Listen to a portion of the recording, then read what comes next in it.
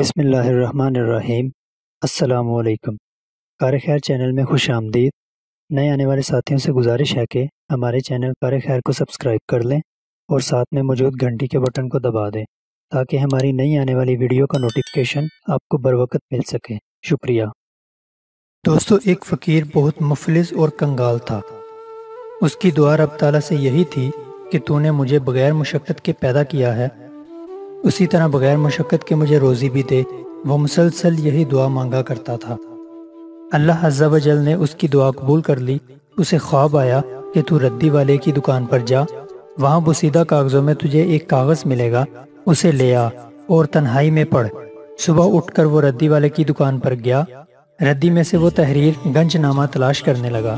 تھوڑی دیر بعد وہ گنج نامہ اس کے سامنے آ گیا، جو اسے خواب میں نظر آیا تھا۔ اس نے وہ کاغذ دکاندار سے لیا، تنہائی میں اس کاغذ کو پڑھا۔ اس پرچے میں تحریر تھا کہ شہر سے پار ایک مزار ہے، ادھر ہی خزانہ دفن ہے۔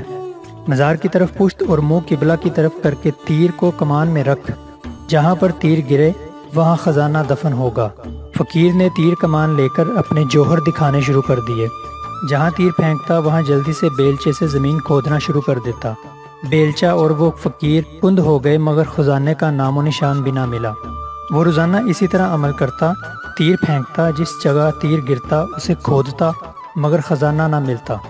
فقیر کے اس پروگرام کا بادشاہ وقت کو پتہ چلا۔ بادشاہ نے اسے طلب کیا۔ اس نے ساری کہانی سنائی اور کہنے لگا، جب سے خزانے کا پتہ پایا ہے، تلاش میں ہوں، خزانہ نہ ملا۔ سخت تکلیف اور مشقت میرا مقدر بن گئی ہے۔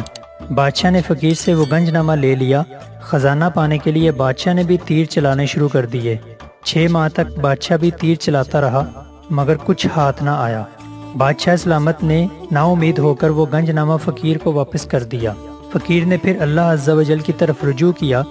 آجزی، انکساری اور آنکھیں اشک بار کر کے دعا کی، اے اللہ تعالیٰ، میری سمجھ سے یہ اکتا بالا اتر ہے، میں راز کو نہ پا سکا۔ تو خود ہی کمال مہربانی سے اسے حل کر دے اور مجھے خزانے تک پہنچا دے۔ جب وہ آجز ہو کر بارگاہ الہی میں سچے دل سے گر پڑا تو آواز آئی، میں نے تجھے تیر کو کمان میں رکھنے کو کہا تھا۔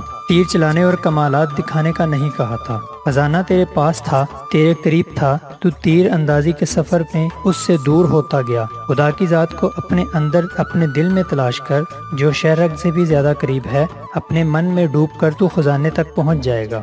دوستو، اس واقعے سے پتہ چلتا ہے کہ انسان جلد بازی، چالاکی اور ہوشیاری سے ہر چیز کو پانے کی کوشش کرتا رہتا ہے۔ یہ جوہر آجزی، انکساری اور من میں تلاش کرنے سے ملتا ہے۔ اور انسان ہمیشہ اپنی جلد بازی کی وجہ سے مختلف چیزوں سے ہاتھ دھو بیٹھتا ہے۔ اور اگر وہی چیز صبر آجزی اور انکساری سے حاصل کرے، تو اللہ تعالیٰ اس کو وہ چیز نواز دیتا ہے۔ بے شک انسان بہت زیادہ جلد باز ہے۔ اور جلد بازی کی وجہ سے یہ ہمیشہ نقصان اٹھاتا ہے۔ اللہ تعالیٰ ہمیں عمل کرنے کی توفیق عطا فرمائے۔ دوستو، اگر آج کی ویڈیو آپ کو پسند آئی ہے تو ہمارے یوٹیوب کے چینل کار خیر کو سبسکرائب کر لیں اور ساتھ میں موجود گھنٹی کے بٹن کو دبا دیں تاکہ آپ کو ہماری ہر نئے آنے والی ویڈیو کا نوٹیفکیشن مل سکے۔ تو ملتے ہیں اگلی نئی ویڈیو میں۔ تب تک کے لیے اللہ حافظ۔